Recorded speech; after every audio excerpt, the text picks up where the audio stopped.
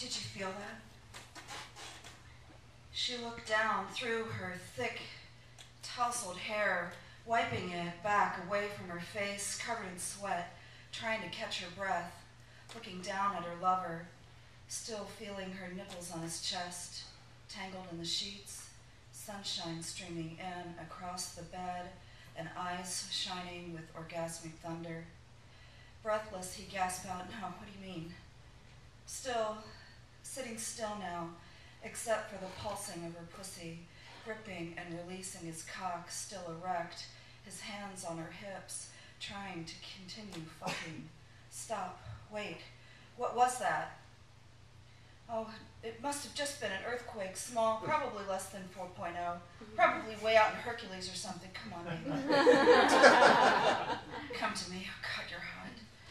And with that, he strained his head up to her hanging breasts to fill his mouth, sucking in deep. And her body began to rock again, loving all the sensations he was giving her. But today's the judgment day. That crazy guy out in Alameda, he predicted all this. He wasn't stopping. She continued gazing at him, his mouth on her breast, moaning, thrusting his cock into her, feeling her juices squirt out, leaving two wet spots under her knees as it ran down her thighs, puddling, splashing, queefing, undistracted, pumping away, her head now flying back, neck limp, hair falling over her face, breathing hard.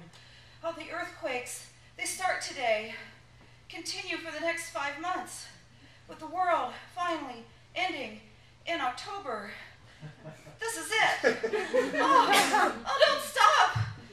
At every grind of her hips, like a lap on the Indy 500, burning that rubber.